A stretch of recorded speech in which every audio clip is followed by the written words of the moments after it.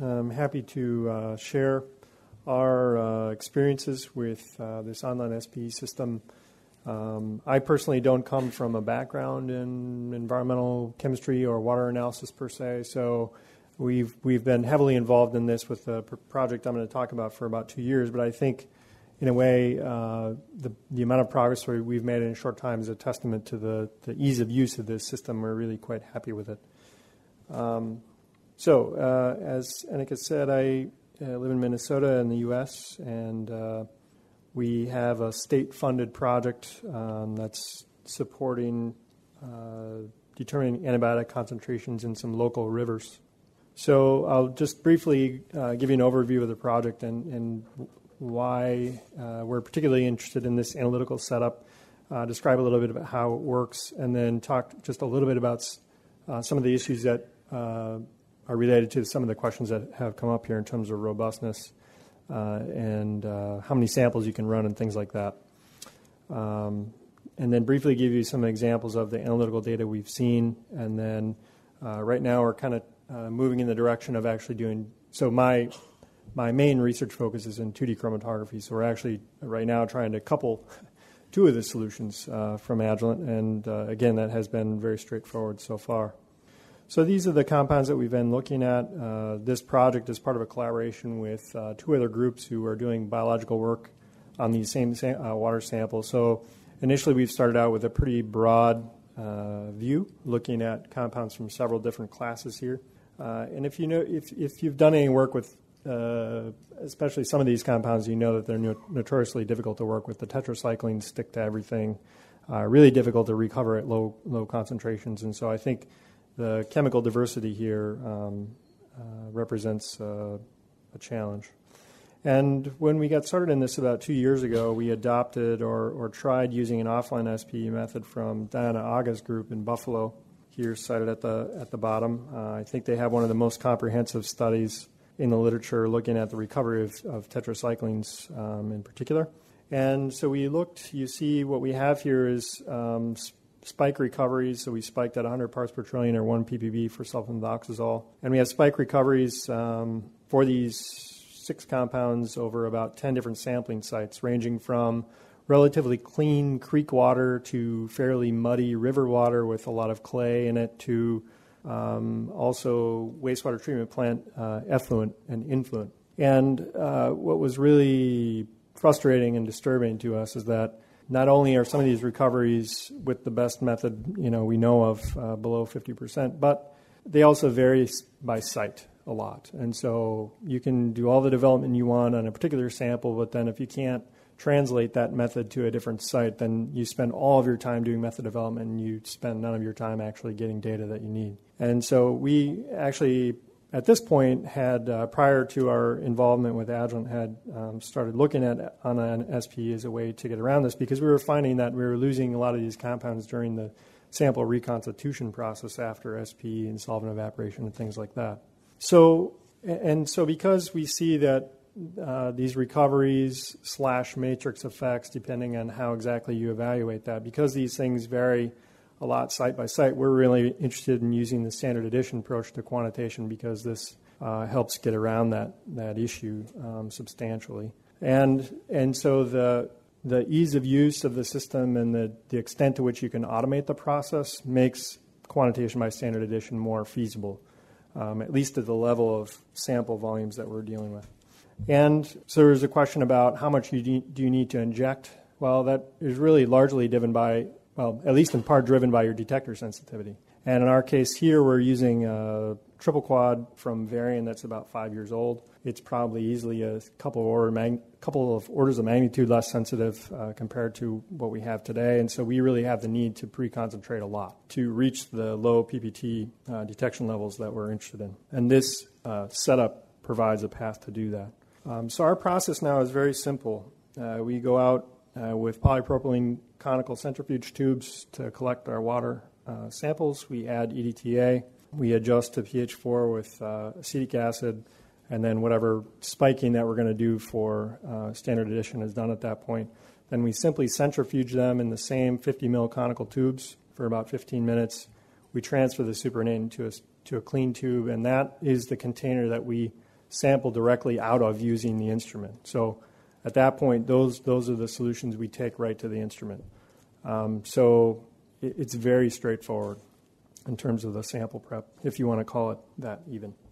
So this is a, just a picture, a snapshot of the FlexCube module um, that was talked about a moment ago, just to show you that it's a pretty clean uh, setup, if you will. Um, so we, we have this um, six-port valve here is used to switch the uh, the SPE cartridge, or basically it's just a guard column, uh, analytical guard column, as was mentioned before. That's what we use. That six port valve is just used to switch that cartridge in and out of the flow, flow path to the analytical column. And this 13 port um, valve here has one in, well, 13 ins, I guess, and one out effectively. And that's uh, all these Teflon tubes here uh, going into our centrifuge tubes are what's used to actually pull the sample out of the out of these tubes and into the uh, into the instrument. And so everything in this gray box here, all those components are basically housed in the FlexCube. We have for our analytical pumping system, we're using the binary 1290 pump, and then, as I said, we're using a Varian uh, triple quad for detection. So I think it's uh, useful to, to show you some of the flow paths here. So in this configuration, this is basically the, the sample loading configuration. So we're using the FlexCube pump over here to draw sample out of this first tube. Uh, so we go into this valve here, and then the FlexCube pulls it out of there and into the SPE cartridge, or again, it's just a guard column. In this case, you're using five micron particles in a one centimeter long cartridge. Uh, the excess uh, goes to waste here. And then uh, we, and so in most of our work, we've been pulling in five milliliters of each of these samples. We've done, I think the most we've done is maybe 10 milliliters, but basically it's just limited by how long you want to wait. So the capability of the pump, uh, as she said, is four milliliters a minute at the top end and 60 bar. So it's how much you can load is simply a function of how long you want to wait and how big your particles are and how long the cartridge is, basically. So once, uh, so typically we're loading at one, mil, one milliliter per minute, and so we wait five minutes there, and, and then we switch this six-port valve. So then in this kit configuration, we're using our analytical pump here to backflush this uh, cartridge into our analytical column and onto detection. Then at the, the end of the analytical run, we do some washing steps uh, of the cartridge, and, and, one of those is shown here. So we, for washing our cartridge, and, and so to answer one of the previous questions, how many injections can you get? Typically, through a cartridge like this, we're making maybe 50 or so analyses at five mils per analysis. And at the end of each run, we're using a cocktail here in this SPE rinse of uh, basically 50 50 methanol and acetonitrile with a little bit of formic acid in it.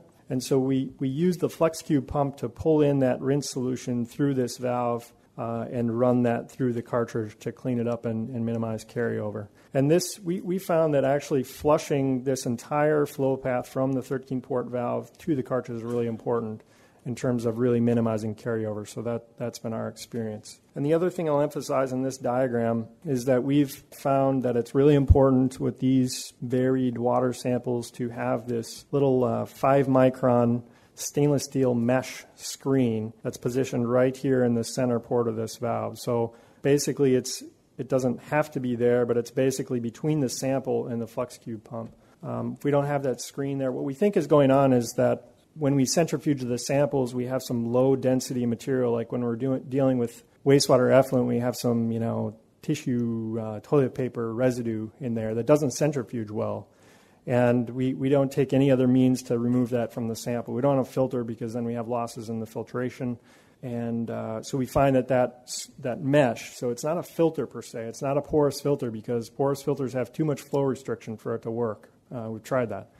Um, so it's really important that it's a, a, screen. But that, that screen, that mesh size 5 micron, seems to work, work pretty well. Um, so that's an overview of how it works. This is uh, just kind of a timeline. So a typical method for us right now is 17 minutes. We really haven't, from end to end, we really haven't taken the steps to sort of rigorously optimize that. But we, we do sort of a, a preload step here where we flush all the component, components in that FlexCube with water. Then we load for five minutes. We have a brief washing step, 30 seconds, with just water to elute any really polar compounds from the SPE material.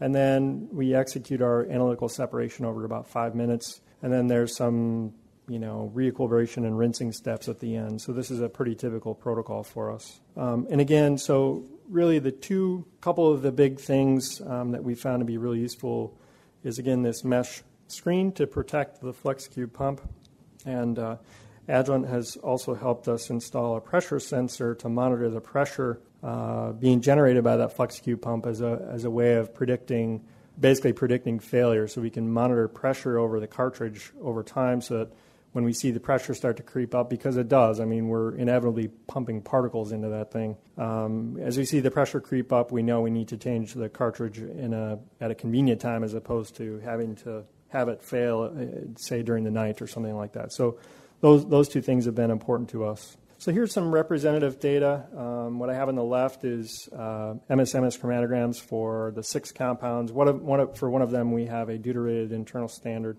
Um, these are 200 part per trillion spikes in uh, 5 mil water, uh, 5 mil samples of creek water. And as I said, we've been doing a lot of uh, uh, standard addition. So on the right, you see for two of the compounds, um, basically the matrix effect comparing basically deionized water to spikes in this creek water sample, and you see in the case of sulfamethoxazole, we have maybe significant suppression there or some kind of matrix effect, and actually in the case of tauocin, we actually see signal enhancement um, in the creek water. Um, and so again, this is really why we like the standard addition because then we don't have to worry about that so much. Um, and for some of these compounds, uh, isotope label internal standards are not available. So to address the issue of carryover, what I'm showing here is for two compounds again, uh, a 25 ppt spike and wastewater effluent followed immediately by a water blank. And you can see that, you know, we're, we have really, really good blanks with this system. Certainly for these compounds, sub uh, PPT levels, I mean, we, we don't even detect anything. Um, so we're happy about that. So, like I said, most recently we've been moving toward uh, developing this into a 2D separation method for a variety of reasons. One, because that's that's really what our focus is, and we're interested in sort of performance improvements that we can realize with the 2D method, but also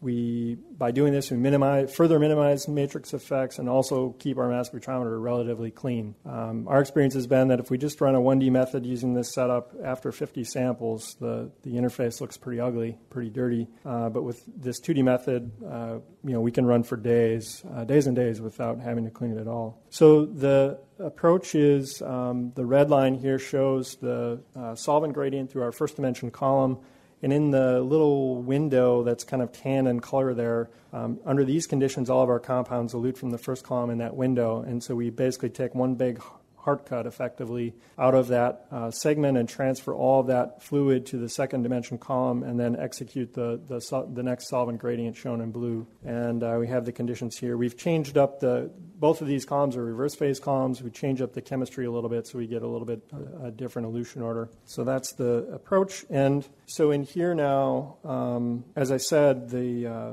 what we really like about this this Agilent system is it makes 2D separations uh, sufficiently easy easy that it's not that big of a deal to combine the online, online SPE with the 2D separation. And so, uh, for some details, uh, what's shown up here is that we're using uh, the valve, the interface valve between the two dimensions, in such a way, uh, the so called counter, counter current uh, configuration of the valve, so that the, the sample comes into the loops one way and gets flushed out uh, in the other way. There, you could say they're maybe back flushed. Um, and then the, everything I just described, the online SPE part and the FlexCube, is basically used as the front end here to the 2D separation.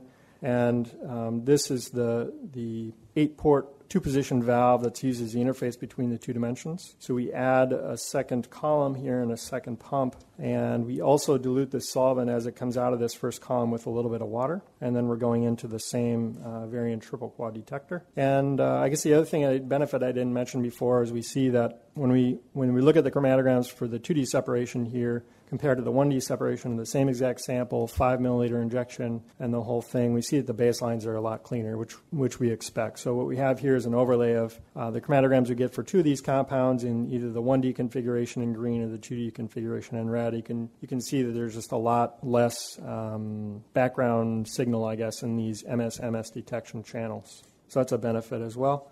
So then this slide is similar to what I showed you before, but now in the 2D separation case. So we have 200 part per trillion spikes uh, on the left in, in, creek water again, following these uh, 2D separations. And some of these compounds, the Cipro and tetracycline here, we've had trouble with. We've actually, and, and, so these chromatograms don't look as good as in the 1D case, but this is primarily was a problem uh, of drift with our detector, loss of sensitivity, which we actually just figured out Uh, solved in the in the last week. So we expect that those will look a little better in the future. And then on the right, we have standard addition curves for two of the compounds. Um, in one of our effluent samples, we routinely see high levels on this order, one part per billion for sulfamethoxazole and uh, about 200 parts per trillion for ciprofloxacin. So again, just uh, representative data there. And I'll point out that these, so the sulfamethoxazole data look great here, right? Um, very nice curve. The Cipro doesn't look so good, and we're absolutely, totally, utterly convinced that this is uh, more of a problem with our detection variability. That's very compound specific, and again, this is related to the um, the issue I mentioned a couple moments ago. So, from our perspective, in terms of getting sample into the detector in a precise way using this online SPE setup. It's very precise. And we've checked that out using UV detection uh, and things like that. So, again, that's uh, representative data. So, in our experience, um, this online SPE system as a front end to whatever kind of detection or front end to a 2DLC system is very, very robust. Uh, we're very pleased. We routinely run it overnight now. Uh, so we'll walk up to the instrument with, uh, in our case, 10 samples um, and then uh, run replicates on those overnight. Again, getting back to this question of how many samples you can do 50 uh, with basically unattended, um, except for walking up with new sets of 10 samples, um, is pretty routine for us. Again, uh, installation of this mesh, mesh screen has been really important to achieving that. And um, again, the, the two capabilities, the online SPE and the 2DLC, are sufficiently easy to use that we've been really able to, to couple those ideas uh, pretty quickly. Uh, and, and like I said, we're very happy with the carryover, and, and the robustness of the system allows us to do standard addition uh, for quantitation routinely. So um, Agilent obviously has been instrumental in, in, supporting us with this work, and uh, I have to acknowledge one of my collaborators um, at the University of St. Thomas for uh, and her students for gathering most of the waters, uh, water samples that I've shown here. So, with that, I'll be happy to answer any questions you have. Have you tried doing your recoveries without using EDTA? And if you have, what sort of recoveries? Is it necessary to add so much EDTA to your samples? I don't know that we've. Um, so the reason reason we started using EDTA is because that was uh, that was what was published in the chemistry paper. Yes, uh, but so I don't know that we've, uh, especially in the online approach, I don't know that we've necessarily evaluated the importance of EDTA from a recovery perspective. But what we definitely know is that uh, it helps us maintain the performance of the analytical column. If we don't have it there, peak shapes run downhill in a pretty big hurry. So in this case, the so analytical column only sees the EDTA in terms of whatever comes out of the cartridge. So it's not a very big amount, but it seems to be important. Otherwise, we, we run you know 20 samples and then we have to take the column offline and run some EDTA through and then reinstall it. Uh, do you add the EDTA to the standards then that you're injecting, or yeah. do, uh, the standards go through SPE also? I guess. Yeah, everything goes through this yeah on that SPE, so it's it's uniform across those. Yeah. Have you tried different kinds of sta- stationary phases on your SPE, and what results did you get if you did? Uh, no, but uh, we've had a, quite a lot of conversation about that, and that's job one once I get home. Yeah, I mean, because it's not optimized at all, and I think we we've looked a little bit about at the effect, basically doing an experiment where we vary the injection volume and look at the linearity response, and I think we're probably losing some of some or all of these compounds. So we really need to focus on optimizing the chemistry. It was this is just a starting point, basically. I was just wondering if you had ever looked at the effluent from the trap that's coming off in the uh, rinse step to see if it contains compounds that you may have missed. Uh, no, but we that's certainly in our plans for as a, as a in the process for evaluating what's actually going on in there. Yeah, I mean that's uh, that's very rational.